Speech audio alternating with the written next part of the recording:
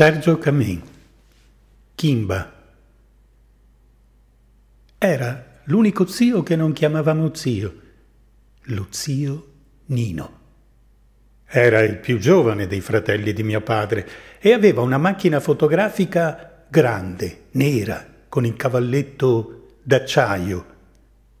Avevo circa dieci anni e mi fece alcune foto mentre dormivo. Fu allora che scoprì come dormo, straiato sulla schiena, il braccio destro piegato sugli occhi. Testimonianze più recenti mi confermano che negli anni non è cambiato nulla. Sulla schiena, il braccio destro piegato sugli occhi.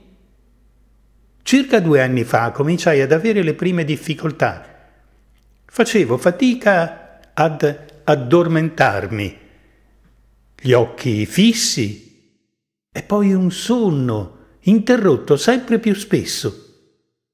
Mi abituai lentamente ad usare le ore della notte. La mattina non ero mai stanco.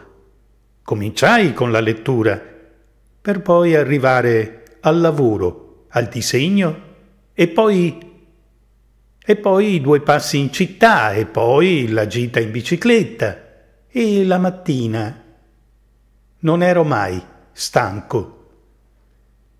La mia giornata si sta ormai avvicinando alle 48 ore.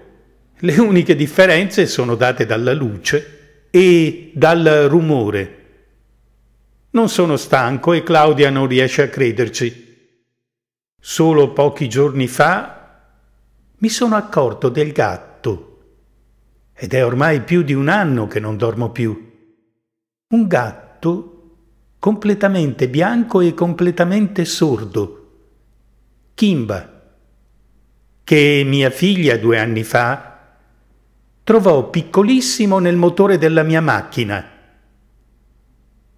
Lo vidi che dormiva dietro al divano, ma non dormiva come fanno i gatti. Stava straiato, straiato sulla schiena con la zampa destra piegata a coprire gli occhi.